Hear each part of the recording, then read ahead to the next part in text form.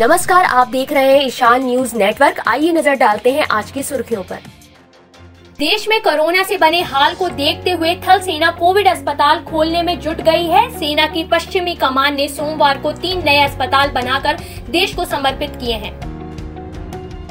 Petrol और diesel के दाम रिकॉर्ड ऊंचाई पर जा पहुँचे हैं। देश के कई शहरों में पेट्रोल के दाम सौ रूपए प्रति लीटर हो गया है। अमेरिकी कंपनी फाइजर बायोटेक जल्द ही 12 से 15 साल तक के बच्चों के लिए कोरोना का टीका लॉन्च करने वाली है। बताया जा रहा है कि ये टीका 100 परसेंट असरदार होगा। अब तक 18 से कम उम्र के बच्चों के लिए कोरोना का टीका नहीं बना है।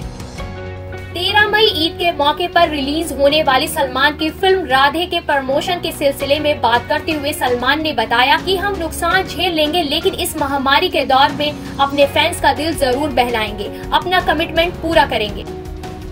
दिल्ली के मुख्यमंत्री अरविंद केजरीवाल ने प्रधानमंत्री नरेंद्र मोदी को चिट्ठी लिखकर देश भर में कोरोना वैक्सीन की कमी दूर करने को लेकर सुझाव दिए हैं। ट्रेन में सफ़र के दौरान यात्रियों को कोरोना प्रोटोकॉल का पालन करना अनिवार्य है जिसमें सोशल डिस्टेंसिंग का पालन करना और मास्क लगाना अनिवार्य है। रेलवे द्वारा जारी निर्देशों के मुताबिक रेलवे परिसर और ट्रेन में मास्क नहीं पहनने वाले को पाँच सौ जुर्माना लगेगा। कोरोना की दूसरी लहर के बीच यूपी में अभी कोरोना कर्फ्यू लगा हुआ है। इस बीच नोएडा और गाजियाबाद में आज से ही शराब की दुकानें खोल दी गई हैं, जबकि अन्य कई जिलों में बुधवार से इन्हें खोला जा सकता है। केविन पीटरसन इन दिनों मालदीव में छुट्टियाँ मना रहे हैं। पीटरसन आईपीएल में कमेंट्री करने भारत आए थे, लेकिन कोरोना के कारण लीग को अनिश्चित काल के लिए स्थगित कर दिया गया।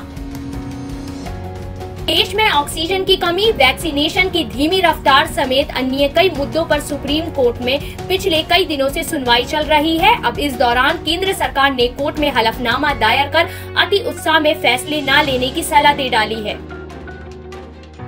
कोरोना संकट के बीच बीजेपी के राष्ट्रीय अध्यक्ष जेपी नड्डा ने कांग्रेस पार्टी की अंतरिम अध्यक्ष सोनिया गांधी को पाँच पन्नों की चिट्ठी लिखी है। जेपी नड्डा ने शिकायती लहजे में अपने पत्र में कहा है कि कांग्रेस पार्टी महामारी काल में भी नकारात्मक राजनीति करने से बाज नहीं आ रही है।